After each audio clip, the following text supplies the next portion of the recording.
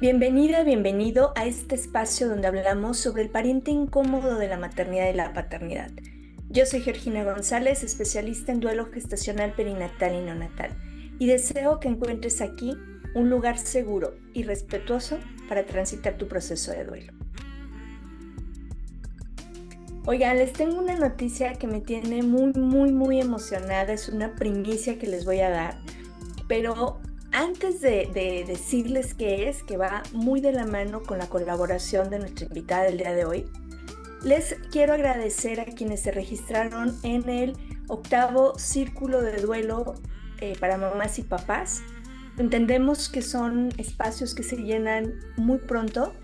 Entonces, eh, a ver, estamos trabajando para ver la posibilidad de abrir más espacios, incluso quizá presenciales pero también eh, si tú eres de las personas que se inscribió como muy comprometido, que si por alguna razón no podrás asistir, házmelo saber porque tenemos personas que están muy interesadas en asistir y ya no alcanzaron lugar.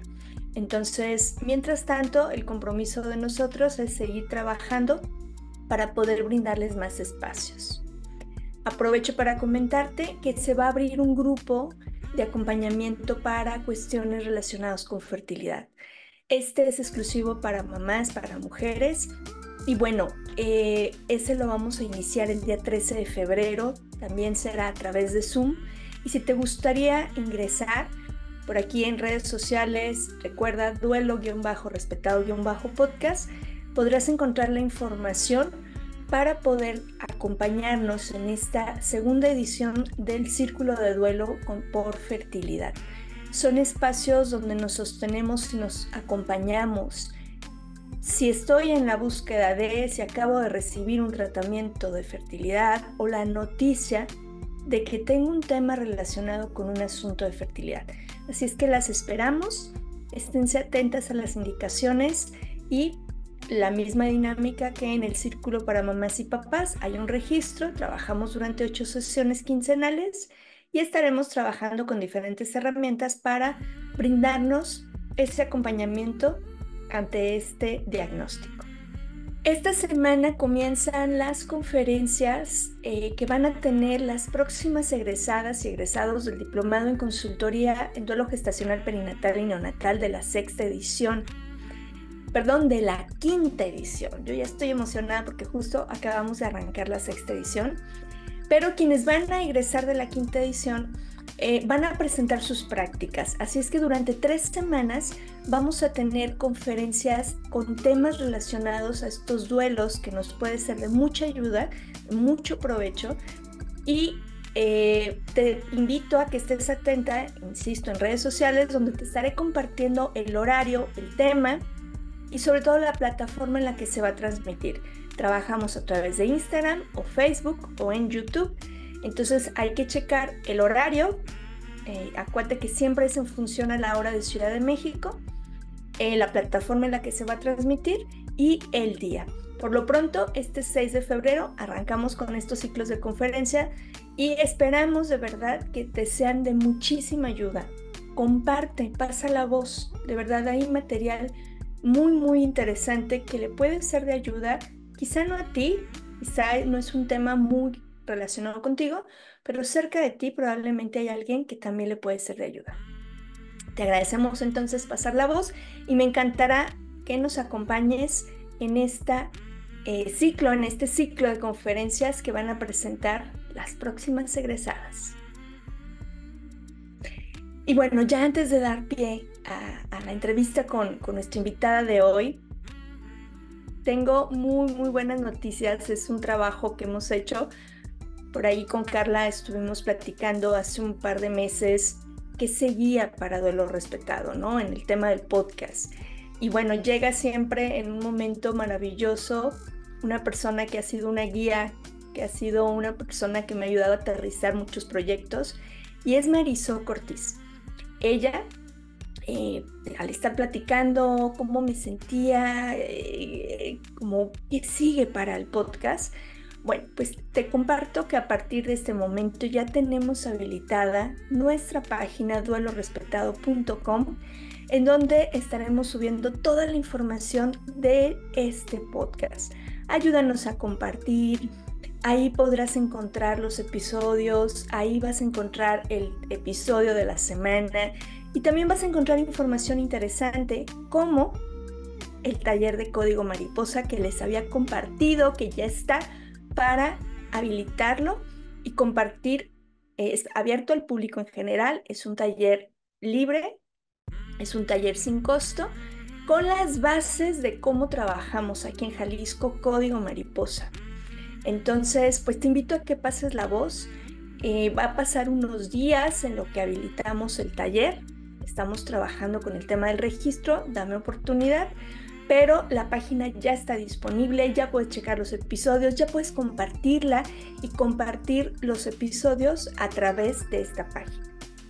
Te agradezco toda tu ayuda para poder llegar a más personas que quizá sin esperarlo, sin saberlo, sin tener herramientas ni información como lo empezamos muchas de nosotras y muchos de ustedes, está llegando al camino de estas maternidades y paternidades diferentes sin sentirse con apoyo ni acompañamiento.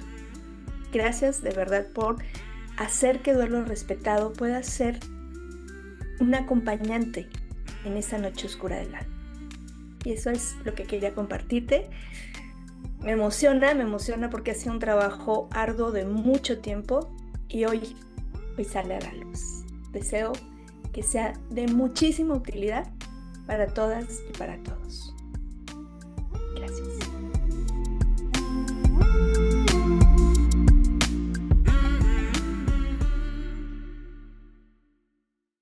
Bueno, pues el día de hoy nos acompaña nuevamente mi querida Marisoko. Ella es mamá de Ángel Humberto y bueno, una querida amiga, bien consultora en duelo, y además, ella ya nos acompañó compartiendo su experiencia inicial en el episodio número 77. Eh, si quieres conocer su historia y un poquito más a fondo de cómo fue el inicio, te invito a escuchar este episodio. Y hoy nos comparte, hoy viene a platicarnos precisamente cómo es la experiencia del duelo con el paso de los años, ¿no? al inicio uno se siente que, no va a salir, que estás en un agujero, que nada tiene sentido, que no, a, no vas a volver a encontrar algo que pueda poner una sonrisa en tu rostro. Sin embargo, hoy Marisoco nos va a compartir cómo ya con un camino recorrido, más integrado el proceso, más asentadas las cosas, ¿Cómo es para ti, Marisoko? ¿Cómo ha sido esta experiencia donde, durante estos años? ¿Cómo miras el duelo que tú estás experimentando con el paso del tiempo? Gracias, bueno, pues, ah, ¿cómo lo experimento? ¿Cómo lo vivo? Eh, y es como la visión que ya tengo a tres años, ocho meses de, la muerte de Ángel. Eh, esto que puedo decir es que va a cambiar con el paso del tiempo. Y es que es justamente eso. Eh, de pronto, por ejemplo, en los trabajos, en el área laboral, en el área empresarial, tenemos este concepto de mejora continua. Y es algo así lo que sucede con el duelo. Vamos evolucionando, va cambiando y siempre hay una oportunidad para ver nuevas cosas sobre nuestro duelo y para ir avanzando. Bien lo decías, los primeros meses, el primer año es el más difícil de todos eh, es donde estamos en esta noche oscura del alma, en donde no vemos una salida, no hay, no hay una luz, no hay nada, es un dolor muy intenso, muy fuerte. Ese es el primer año. Los años siguientes van va siendo un poquito diferente. Conforme vamos integrando nuestro duelo, y eso hay que, hay que señalarlo, es, integrarlo, no es superarlo, y es trabajarlo, porque si, si hay algo que para mí es cierto, es que hubo una diferencia muy grande entre vivir el primer año eh, casi por completo sola con mi esposo, a hacer un acompañamiento individual que llevé contigo ya casi al primer año de Ángel. Ahí fue donde realmente empezó a avanzar mi proceso hacia una vida más, más tranquila, más plena, un, proceso de aceptación, porque los, siguientes dos años, dos años y medio después del primer año, son eso, es aceptarte, es aceptar esa transformación que viene con el duelo. Eh, es cierto que sigue habiendo días malos, porque sigue haciendo, habiendo días malos, pero son menos. Lo cierto es que cada vez, conforme va pasando el tiempo y conforme vamos trabajando y procesando y aceptando nuestro proceso, hay días cada vez que son cada vez más buenos. Días en los que a lo mejor no tenemos ningún detonante, en que nos encontramos sonriendo, planeando, soñando, eh, atreviéndonos a ver hacia un futuro cosa que no sucede en, el primer año, en los, primeros meses. En los primeros meses uno está, no hay manera, no hay futuro, no hay nada. Pero ya segundo, tercer año, años posteriores, ya hay ese, ok, ¿qué es, lo que sigue? ¿no? Y es, es, esa apertura también a otras posibilidades. Y es atrevernos a ver qué hay en el futuro. Que sí, hay momentos donde suceden algunas cosas que nos detonan, ¿no? Hay otras primeras cosas que no pasan el primer año, ¿no? A mí, por ejemplo, hace una semana. Estamos en la semana del regreso a clases en México.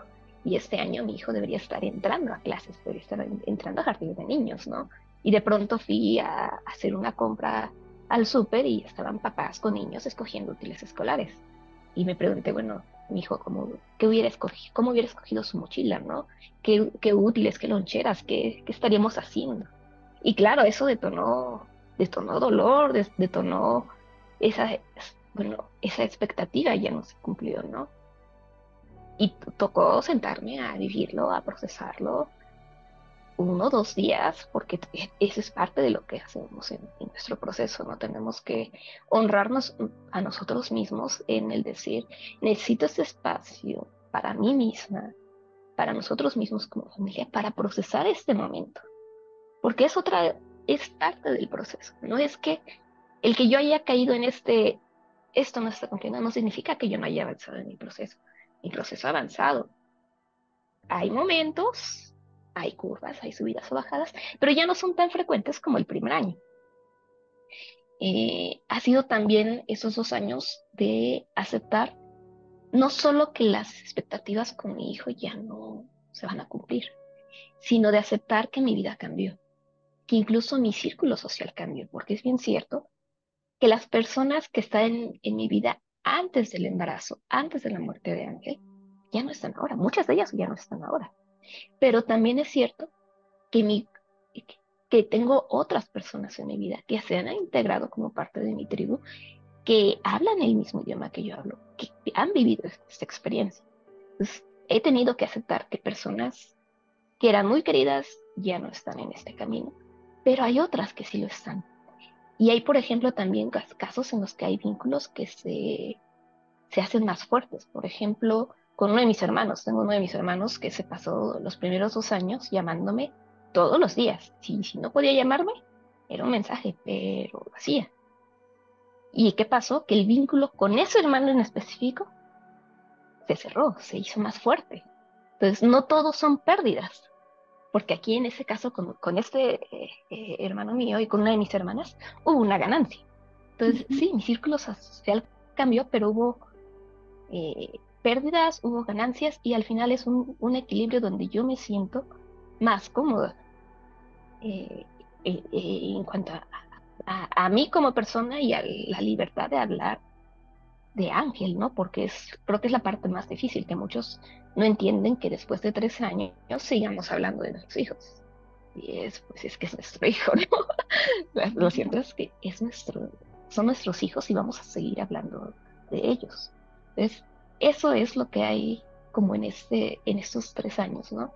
Y también ayer me gusta escuchar el, el episodio 77 y algo yo, que, que, yo te compartí en ese momento era, a mí, para mí fue muy difícil, por ejemplo, el tema de la fotografía, que yo no tenía una fotografía. El primer año, año y medio era muy, muy complicado. Y todavía hace un año que grabamos el episodio, yo todavía estaba como esa, esa espinita de, híjole, es que no me acuerdo de su cara, ¿no? Eh, todavía no estaba bien integrado y hoy, a tres años y medio, ha pasado un año más, la verdad es que ya no tengo esa necesidad. Que sí que me encantaría, claro, me encantaría porque a quién no le encantaría tener una foto de sus hijos, pero si veo, por ejemplo, a las fotografías de papás que ya tienen, porque afortunadamente eso ya está cambiando y tienen ya fotografías de sus hijos, ya no está ese porque yo no lo tengo.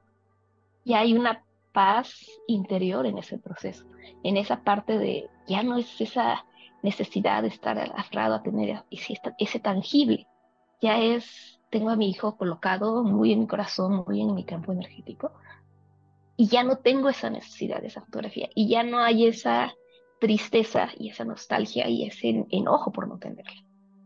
¿Por qué? Porque llega a ese, ese grado de paz. Entonces, eso es lo que va, va ocurriendo a través de los años. Exacto, me, me encantó esta parte del grado de paz, porque es algo que nos cuestionamos mucho y nos hace mucho ruido. ¿Por qué yo no? ¿Por qué los otros sí, pero yo no? Porque yo no tuve esta experiencia, porque no fue de esta forma. Y, y en muchas ocasiones nos aferramos tanto a eso que no hay, que nos olvidamos y dejamos de lado lo que sí hay, de lo que sí puedo partir. Recuerden que es algo que incluso con personal sanitario trabajamos mucho, de lo que sí tengo, ¿qué puedo hacer? Pero definitivamente, al paso de los años, conforme vamos integrando la experiencia, vamos dejando también que las aguas se vayan eh, asentando, que se vaya tornando clara, llegan ocasiones, como bien lo mencionabas, que, algo pasa y se vuelve a poner turbia. Esa parte turbia que incluso compartes, que, es algo que a nosotros nos pasó también cuando nuestro primer chilpayate fue a, a la escuela, ¿no? O sea, ¿qué hubiera pasado con sus hermanos? ¿Cómo hubiera sido la historia? Lamento que a ellos no los voy a acompañar en esto, pero a mí me gustaría que nos compartieras este este dejo de nostalgia y este dolor experimentado ante un evento que te detona algo, que toca un punto sensible, es igual de intenso, es igual de fuerte, de dejarte sin aliento y con el dolor en el pecho que al inicio del proceso de duelo? Porque luego nos da mucho mm. miedo enfrentarnos a eso, ¿no? Es que justamente ese es el miedo a enfrentarlos, es lo, que, lo que Antonio dice del miedo a sentir profundo. Eh, porque sí ha, habido momentos en que los detonantes son muy dolorosos, pero también hay momentos donde es llevadero, es un dolor más suave. El reto está en atreverse a sentirlos, porque de pronto cuando no nos atrevemos a sentirlos y cuando decimos, no me voy a enfocar esto, no quiero verlo, no, nada, es cuando más duele, porque se va acrecentando esa sensación. Eh, es ese, también por otro lado es el, ya tienes herramientas. Por mucho que sea un dolor tan intenso, tienes herramientas. Que te atrevas a usarlas y decidas, ok, necesito sentarme, procesar esta emoción y ver qué es lo que estoy. Y es muy diferente porque muchas veces estamos, no, eso no, no, no sentí nada. Me, ha tocado verlo y yo también lo he hecho, ¿eh? O sea, estoy en otra cosa, algo me detona, no quiero verlo, no tengo tiempo para esto y y a otra cosa. Y ahí se queda la punzadita, se va haciendo grande. Pero si yo me detengo, hago, me doy esa pausa de procesarlo, cinco minutos, una hora, dependiendo de, la magnitud, es algo que es temporal y es momentáneo. Ya no va a ser este dolor que no solamente es intenso y es perdurable, que es, dura días, días, días. Y es un dolor intenso, cada quien vive sus emociones dependiendo de, de lo que le mueve pero ya es algo, es el hoy, es el momento, es el presente. Si lo, si lo trabajas, es, es algo que dura un, un, día, dos días, a lo mejor una semana y es mucho. Es porque te atreves a, ok, ya, ya lo viví, ya sé cómo puedo salir de esto, ya conozco el camino. Puedo permitirme el liberarme a mí mismo, porque eso es, el trabajar la emoción es liberarte de esa emoción y de ese peso y de esa angustia y de esa intensidad que estoy sintiendo. Claro, es que el ser humano como, como parte de un ser social, nos estamos acostumbrando a evadir precisamente el cómo se siente, a evadir el dolor. Y podemos decir que es generacional y que entonces eh, es porque no nos enseñaron, porque no nos dieron herramientas, pero el camino de duelo te hace andar sí o sí. A veces te jala, A veces tú no quieres ir y te va arrastrando, te arrastra, te, te pone, bueno, una buena arrastrada, como en, en el mar, ¿no? Una buena revolcada que te da la ola. Y a veces decides tú voluntariamente hacer el camino, pero de que duele y de que quisiéramos que no doliera, es, es todo el tema, ¿no? Es toda la perspectiva que a veces incluso hace que prolonguemos este dolor. Eh, yo lo veo como cuando tenemos una cicatriz que ya está eh, avanzando, la costrita, y la arranco, ¿no? Y entonces vuelve a sangrar. Y el cuerpo tiene que volver a hacer su trabajo para ir reconstruyendo esa zona, pero la vuelvo a arrancar. Y es una manera también de no, de no interiorizar el proceso, de no sentir y decir, me duele, pero en algún punto va a salir el sol, en algún punto esto va a sanar, en algún punto voy a dejar de sentirme sobrepasado. Y qué importante esto que nos dices, porque conforme vamos avanzando y de pronto dices, voy muy bien, y, ah, caray, hoy me siento muy mal, quiere decir que no he hecho nada, quiere decir que no he avanzado, quiere decir que no lo estoy haciendo bien.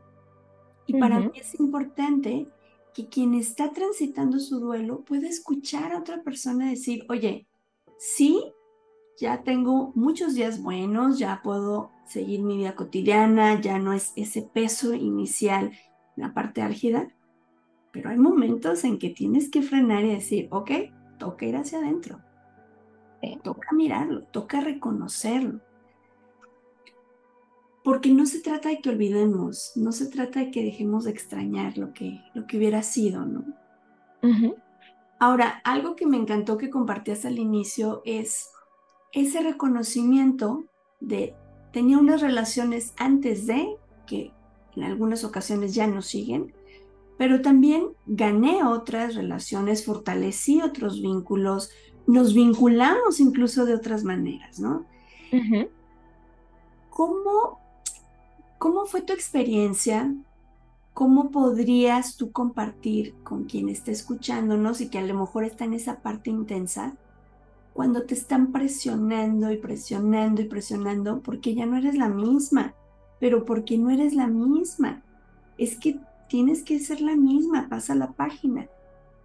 ¿Qué podríamos hacer cuando siento que el mundo se me vino encima, que mi mundo se detuvo, pero de afuera me dicen, oye, ¿qué pasa contigo? A veces una cosa, a veces ni siquiera es tanto de afuera, a veces somos nosotros mismos.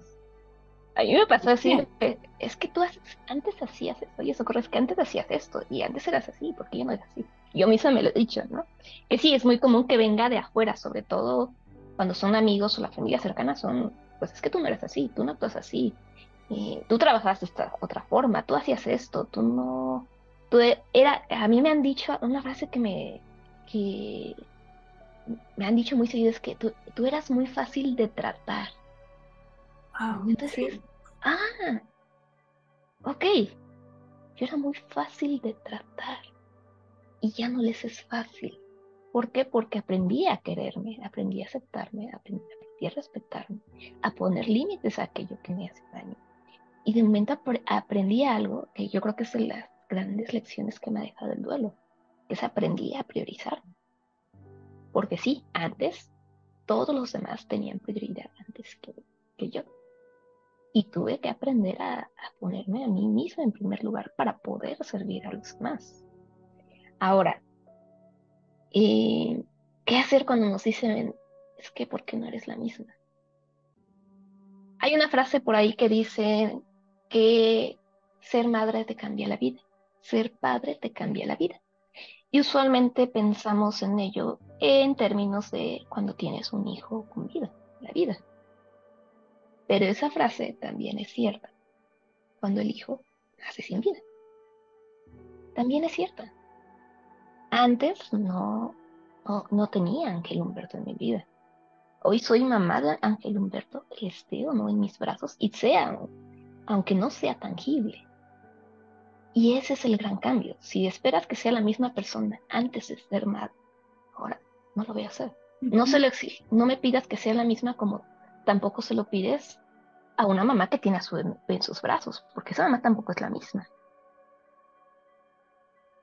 Claro maternidad nos cambia. Y le, aparte de que la maternidad y la paternidad nos cambia, porque eso sucede también con los, con los papás. Digo, yo veo a mi esposo y no es el mismo que era hace cuatro años. Eh, algo que tenemos que recordar es que este duelo, el duelo gestacional, el duelo perinatal y el duelo neonatal, es un duelo que desestructura. Eh, en mi experiencia personal, yo he vivido otros duelos. Eh, mi propio nacimiento en sí estuvo rodeado de un duelo, del duelo por mi madre. Eh, vi morir a mi papá, a mi padrino, a mis abuelos maternos, a abuelita y a mi abuelito, y ningún duelo me cambió tanto, me desestabilizó tanto, me desestructuró tanto como el duelo por hija. Ninguno. Nos enfrentamos a una etapa muy fuerte y a una transformación inmensa. Y ese mismo duelo, esa misma desestructura que nos toca de momento, se rompió esta taza y vuelve a armarla con las piezas que queden, hace que ya no sean los mismos. Y tenemos que aceptar que ya no vamos a ser los mismos, tanto porque somos padres como porque vivimos un proceso que es en sí y por definición muy intenso. Y es la definición de este duelo es transformación porque eso es lo que hace. Ah, te, te compartía yo en aquel episodio que grabamos, que lo primero que me dijo una amiga, la primera amiga que se atrevió a contactarme y decirme, yo también lo viví y estoy aquí, lo primero que me dijo, el duelo te transforma. Deja que te transforme. Y es verdad. Y si, es, si, el, si el duelo es una transformación, muy, muy difícil que vayamos a ser los mismos de antes. es más, intentar ser los mismos de antes es negar la existencia de nuestros Y es algo que creo que ningún papá y ninguna mamá que esté escuchando este podcast va a querer hacer. Porque al contrario, vivimos para, para honrar y para hacer memoria de nuestros Exacto, exacto. E, es que incluso bueno, pues la psicología perinatal ya, ha avanzado muchísimo y ya tienen muy claro cómo incluso nuestro cerebro cambia con el embarazo, ¿no? Cómo se, se conjugan eh, hormonas y muchas cosas. Pero volvemos a lo mismo, esta parte de arrebatarnos un proceso biológico que es natural, que es un posparto, que es todo lo que viene después, todos los cambios físicos, emocionales, de madurez, cognitivos que implican las maternidades y las paternidades, porque ahora ya también se mira, antes se creía que los papás no eran como veleros, ¿no? Así pues está bueno y siempre está también. y realmente también se ve que tiene un impacto. Para mí ha sido sorprendente, Marisoco, que muchos papás son los que se acercan a buscar la consulta y era algo que hace un par de años ni siquiera lo habíamos contemplado. Siempre o que era con el trabajo de las mamás. Y cuando nosotros como pareja decidimos abrirlo y dar este pie a los papás, para mí ha sido también impresionante que ellos también tienen esta parte de la transformación. Así es que si eres papá y nos estás escuchando, sí, también, también tienes este impacto del que nos hablaba Marisoco. Y tampoco podemos ser los de antes, tampoco se les puede exigir que renuncies a un proceso que ya se echó a andar. ¿Cómo te dejas vivir cuando ya el proceso se inició? es, complejo, ¿no? Sí. Pero eh, lo importante es que sepan que, que, que, hay esa esperanza, ¿no? Y que el secreto sigue siendo, por decirle secreto, vamos a poner un toque místico aquí, el secreto sigue siendo el viaje al interior. Porque normalmente es en donde menos nos buscamos en los procesos de duelo, ¿no? Concretamente en estos duelos. Queremos que pase, queremos activarnos, incluso nos sobresaturamos de trabajo de actividades, de viajes, de cosas que me dispersen y me ayuden a hacer esta disociación del dolor. Pero el dolor está. La situación está y hay que enfrentarla. Marisoco, vamos haciendo el cierre de este episodio, porque ya saben que siempre el tiempo aquí vuela Y, bueno, la intención es que podamos, antes de, despedirnos, dejar un mensaje a, las personas que nos acompañan. Ya lo dijiste en el episodio 77, pero a mí me gustaría que ahora con, con el paso de los años, con esta integración que has tenido, con los avances, las herramientas, ¿qué les compartirías a las mamás, a los papás que están iniciando este camino y que les aterra mucho también cómo va a ser su vida ahora? ¿Cómo voy a enfrentarme también a, más adelante, no? No solo lo que estoy viviendo ahorita, sino qué va a pasar conmigo en el futuro. Voy a utilizar una frase, voy a parafrasearte. Algo que me dijiste en el círculo de duelo, en la tercera, cuarta sesión. Eh, algo, no, no recuerdo qué te compartía, pero me dijiste, te prometo que un día vuelves a sonreír. Lo voy a llevar un paso más allá. Un día van a volver a sonreír. Va a llegar el día en el que las lágrimas van a dejar de correr por sus mejillas. Va a llegar un día en el que va a, volver a ver brillo en sus ojos. De pronto eso es algo que extrañamos mucho. Nos vemos en el espejo y no nos reconocemos. Pero hay un día en el que el brillo a los ojos vuelve. Y sobre todo y lo más importante es que van a volver a tener una vida, una vida plena. Y una vida plena no por el camino de este romanticismo de una vida feliz, sino una vida con sueños, una vida con experiencias, una vida con emociones. Van a volver a tener una vida plena.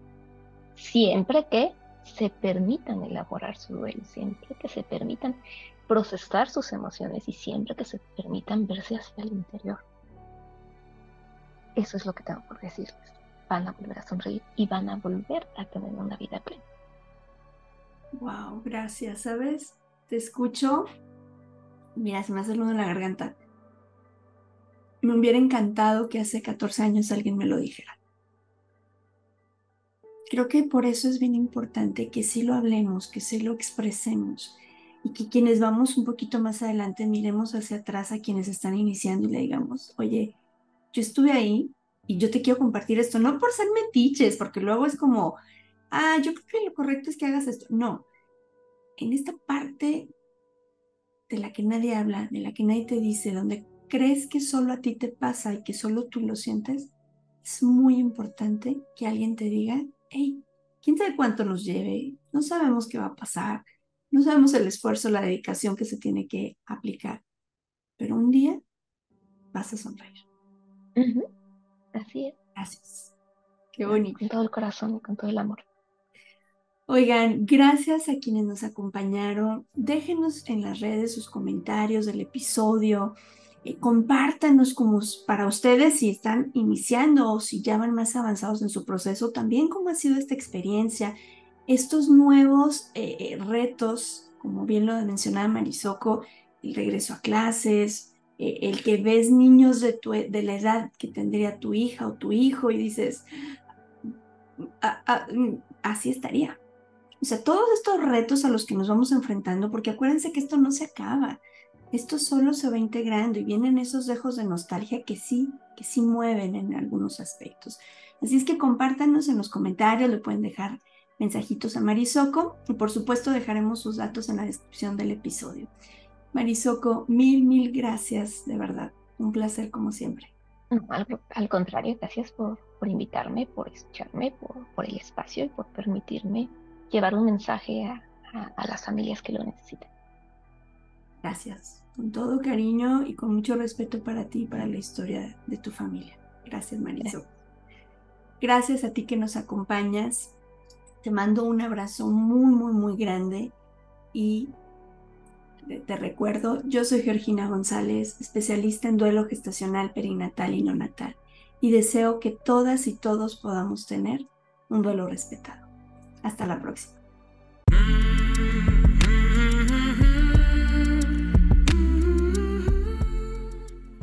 Este programa es producido por Georgina González y Carla Rodríguez y narrado por mí, Georgina González. Recuerda seguirnos en redes sociales como Duelo Respetado.